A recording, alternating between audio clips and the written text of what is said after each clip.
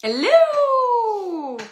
Très heureuse de vous trouver en ce beau vendredi. On a-tu une belle semaine de soleil? J'espère que vous en profitez.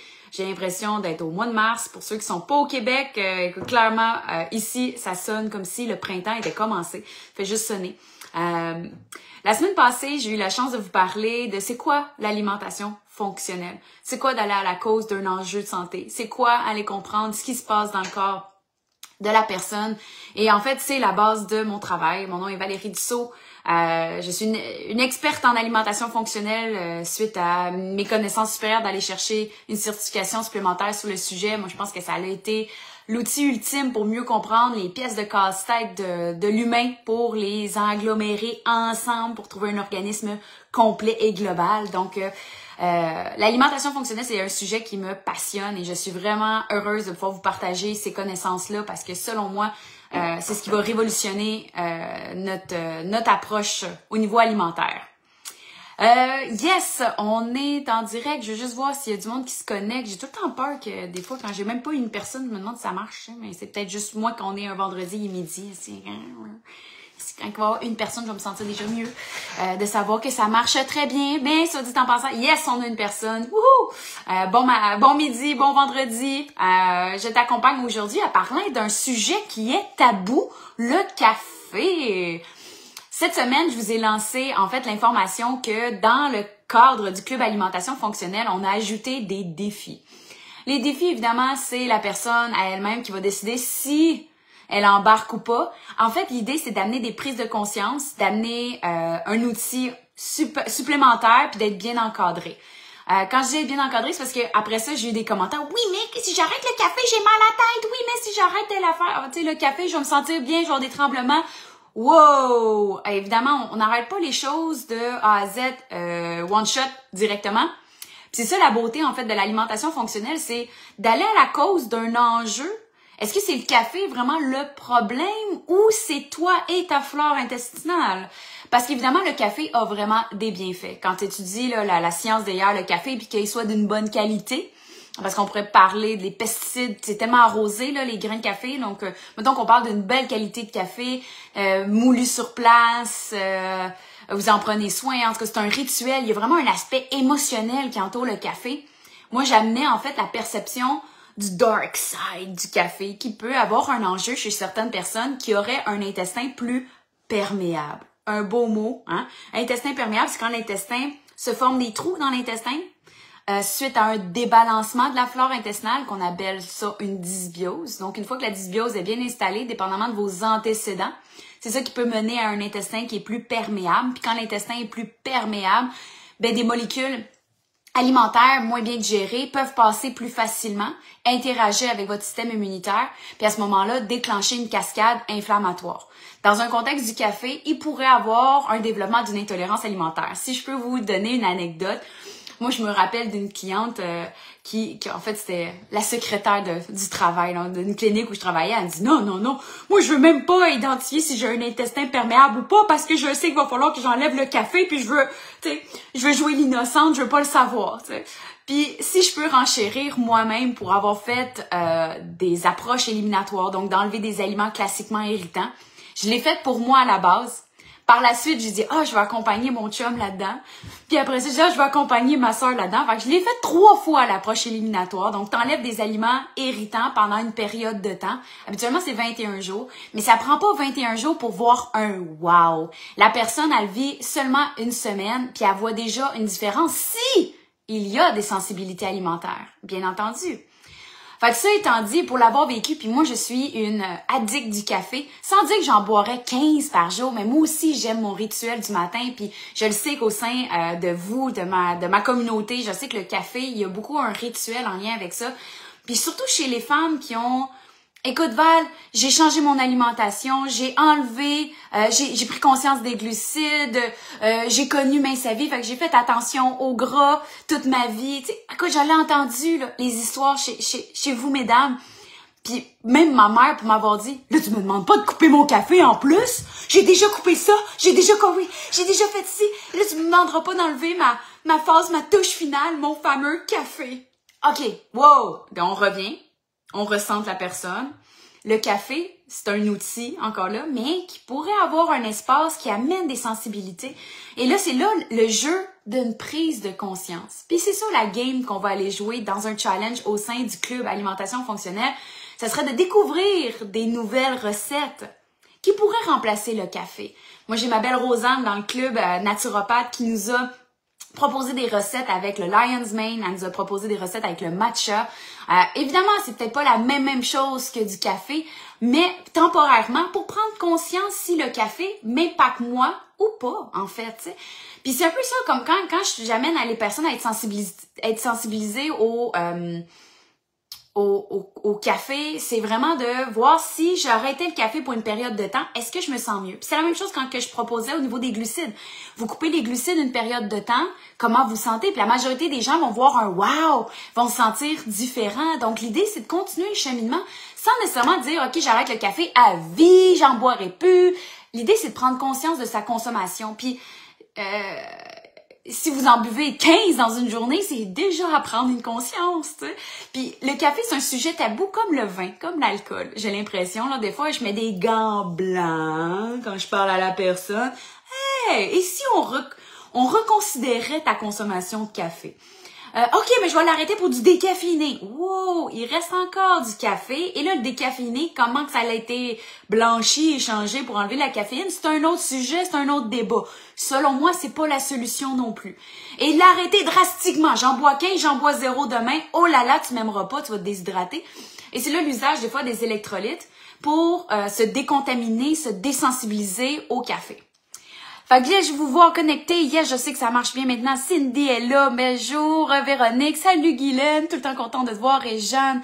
Euh, Vicky, je pense. Vic, hein? Isabelle. Marco. Kaliane. Daphné. Ah, je suis tout le temps content de vous voir. Chloé. Monique. Yes, j'espère que je vous sensibilise à la consommation de café. Et l'idée, c'est pas nécessairement de dire j'arrête euh, complètement, mais c'est vraiment de prendre une conscience, de voir si on est capable de substituer. Puis pour avoir entendu euh, des gens, des mentors pour moi en alimentation fonctionnelle, c'est qu'ils qui se rendent compte, c'est quand ils réduisent leur consommation de caféine, après ça, ils peuvent se permettre euh, une fois de temps en temps, exemple le samedi matin, je me prends ma bonne tasse de café, mais je remplace plus fréquemment avec euh, une recette de matcha ou une, recette avec le Lion's Mane ou qu'on va chercher le Lion's Mane qui est la crinière de lion, qui a des bénéfices même au niveau cérébral, cognitif, supérieur selon moi au café, mais le café, on va chercher des antioxydants. Donc, l'idée, c'est de varier. Hein? Je pense que c'est vraiment d'amener une variété au niveau de notre consommation. Euh, et si c'est très quotidien, fréquent, tous les jours, par exemple, le café, qui pourrait avoir des pesticides dedans, ben ça a le plus d'impact sur toi fréquemment que si tu en prenais occasionnellement. Donc souvent, j'amène la personne à être sensibilisée avec le café, de choisir au moins biologique par la suite si tu en consommes quotidiennement. Euh, et évidemment, si on revoit votre consommation de café, de réduire graduellement. J'espère que le message est vraiment clair. Donc, si vous passez de 15 tasses, bon, on va réduire à 10. Si on passe de 10 à 5, c'est déjà un pas. Puis moi, personnellement, quand je commence à dire, OK, je me fais un challenge sans café, ben, je vais réduire de une tasse à une demi-tasse de café. Donc, je suis à une demi-tasse de café pour ensuite, le lendemain, tomber à zéro. Pour avoir une, euh, une amie qui avait fait une approche éliminatoire, elle avait dit, oh mon Dieu, le matin, il fallait que je prenne juste une cuillerée à soupe de café. Juste une cuillerée à soupe. Hey, c'est niaiseux quand tu y penses, une cuillerée à soupe.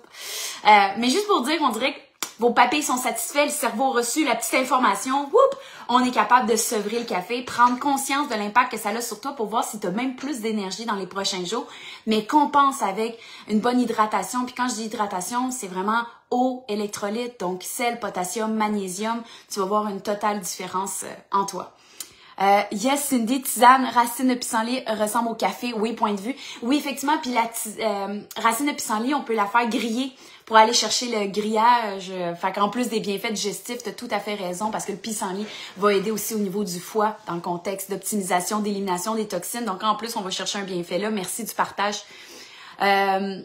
Moi, je prends du café décaféiné. J'en ai parlé tantôt euh, dans le live. Là. Euh, oui, décaféiné, en fait, c'est traité euh, s'il est traité à l'eau, c'est déjà mieux, je dirais, que s'il est blanchi à ce moment-là avec des outils, mais ça reste qu'il reste un peu de caféine dedans, donc c'est peut-être pas la façon pour identifier si on a une réaction ou pas, c'est vraiment zéro café, là, si on fait le test. Après, si tu réintègres, puis de cette version-là, biologique en plus, puis tu sens pas que ça t'affecte. Moi, personnellement, quand j'ai fait... Euh, J'aime pas dire le mot détox, mais un reset, là, que j'ai enlevé le café une période de temps, juste pour voir l'impact que ça avait Ça change pas grand-chose. Par contre, si j'en bois trop, est-ce que ça change de quoi? Donc, mon un café, si je saute une journée, ça, ça, ça me dérange pas. Tu sais, c'est... Euh, puis là, évidemment, moi, j'ai encore un cycle menstruel, donc si vous en avez plus, c'est pas pour vous. Mais si vous avez encore un cycle menstruel, moi, je note vraiment un impact avec mes, mes menstruations, là, surtout quand j'arrive près des règles, de, de réduire ma caféine. On dirait que ça enlève une charge de cortisol. On dirait que je passe des meilleures règles. Message.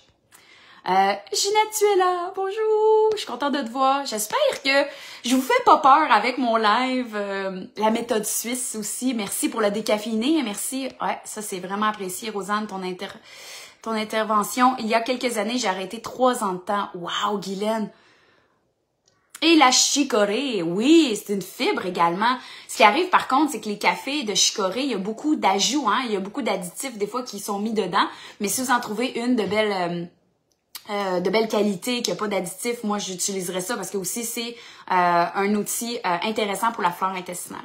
Donc l'idée c'est vraiment de prise de conscience, ok, alternative et évidemment, toujours de rester hydraté. Vraiment, c'est mes trois messages clés. Prise de conscience, est-ce que le café t'affecte ou pas? Hmm, si oui ou non, ou t'es es curieuse, embarque dans le challenge avec nous pour le vivre.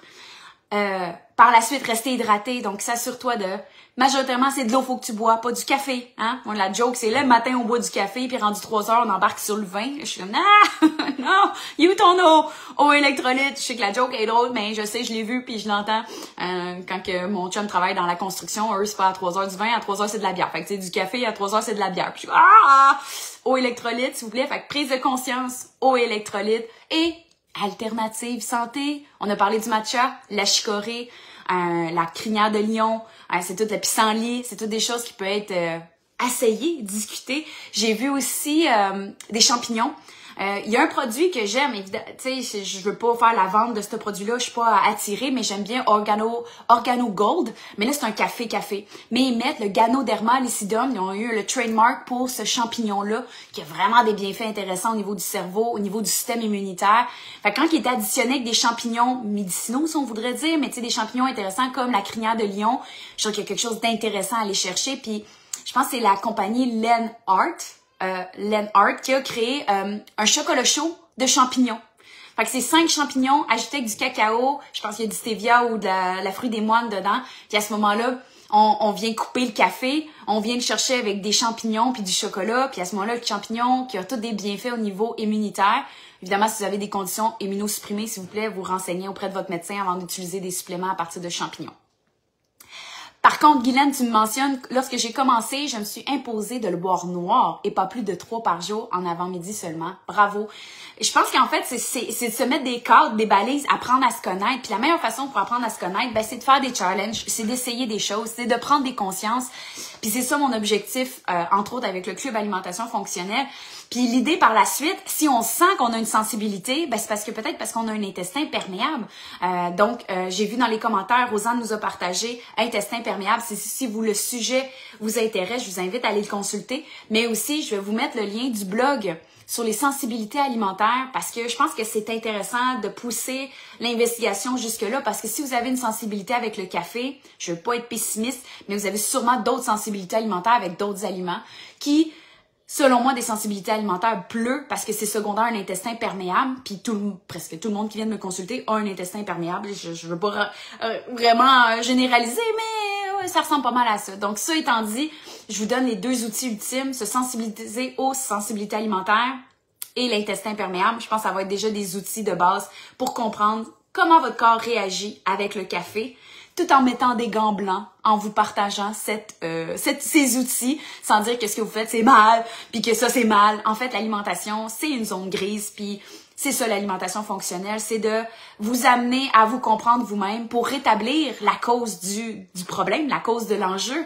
pour positivement renverser l'enjeu et de réintégrer les aliments. J'espère que je fais du sens, que je résonne avec vous. N'hésitez pas à aller consulter les ressources. Je vous invite fortement à prendre conscience sur vous-même, euh, sur les intolérances alimentaires. Je vous souhaite une excellente journée, un beau week-end. J'ai contente de vous partager ces outils. Prenez soin de vous. Kampai, santé. Bye.